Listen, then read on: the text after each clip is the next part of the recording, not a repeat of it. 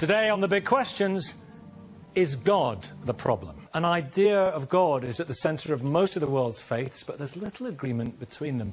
The Old Testament portrays a wrathful, vengeful, and jealous being who commanded men to kill their wives, children, brothers, and friends if they worshipped any other God. Christians worship a God of love, who's three beings in one God the Father, God the Son, and God the Holy Spirit. Reverend David Paterson, priest of the Church of England, um, does God exist? I do not think that God exists, no. I think that that is probably the problem. Mm. Ideas of God are fine, and some ideas of God, of course, are very good, and some are bad. But what we have to do is to take responsibility because we actually construct those ideas ourselves. Um, down the ages, so we usually build on traditions in the past, um, and as you've rightly said, you know, there are various di different traditions in the different faiths. But all of these are human creations, and if they prove to be damaging and destructive, which is what atheists see that they very often are, then we need to take responsibility for those things that we believe. And when we say that we believe in something, we believe in a God, we believe what we believe about that God, and if we are honest, we put it into practice in our lives, mm. and if we're not, we don't. Mm.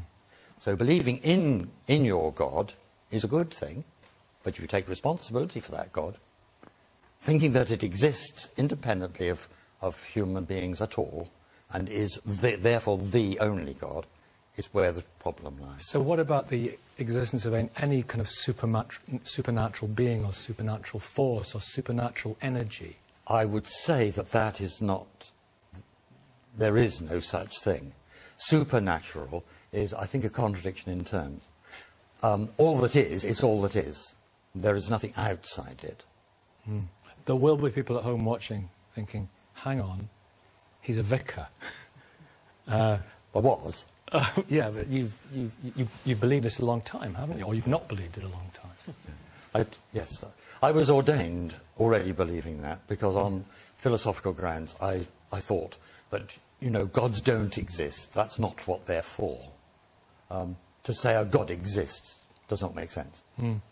Um, one of the things I'd like to add is that the mystical, we didn't quite do it, the mystical tradition of really all the faiths and certainly Sufis and Christian mystics and, and the Upanishads and all sorts of things like that, do have this business that the more you understand about God, the more that as a, as a, a thing vanishes away.